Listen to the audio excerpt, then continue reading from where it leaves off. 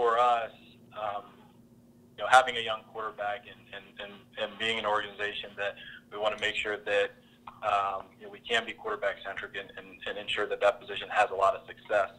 Um, you know, the offensive line is always going to be um, a priority, and that's not just this year, but but any given year, um, because if we can't protect the quarterback, we can't, um, you know, uh, you know, create create holes in the run game. Then it's going to be a really tough challenge for our skill players to produce and play at a high level. So it really does it really does start there. I know those guys end up being a bit of unsung heroes, but um, you know that's something that's um, that has been a focus of ours and, and will continue to be a focus of ours um, in each successive off season.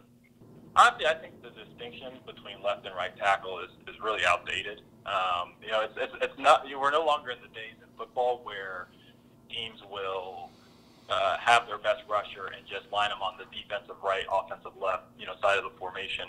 Um, and, and, and, and really the game isn't, isn't played that way. So from my perspective, tackles are tackles. Uh, and in terms of, in terms of guys, you know, making the switch, like certainly there is, um, you know, probably an element of muscle memory that needs to uh, be reprogrammed, so to speak, for, for people who have played one side or the other for, a long period of time. But you know, if you if you if you look, um, right, Jack Conklin, he was a uh, uh, a, uh, a college left tackle that has been a, a, a pretty pretty well accomplished right tackle in our league, and you know perhaps the best the, the, the best example of a switch for a career college right tackle that has been a, a pretty good left tackle in our league is Tyron Smith. So I, I think sometimes those distinctions can be a bit um, overemphasized. Uh, but but look, in today's game, you you know, yeah, I, I think I think the two tackle positions are are uh, they may not be identical, but they're pretty close.